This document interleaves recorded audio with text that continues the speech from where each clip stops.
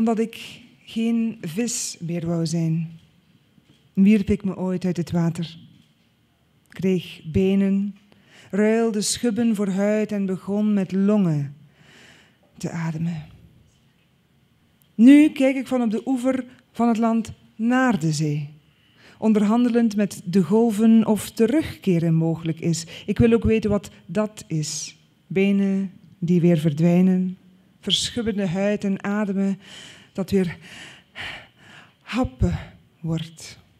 Wat is dat krampachtige happen toch goddelijk? De zee zou de zee niet zijn als ze mij niet schuimbekkend verwelkomde. Ik heb inderdaad naar adem.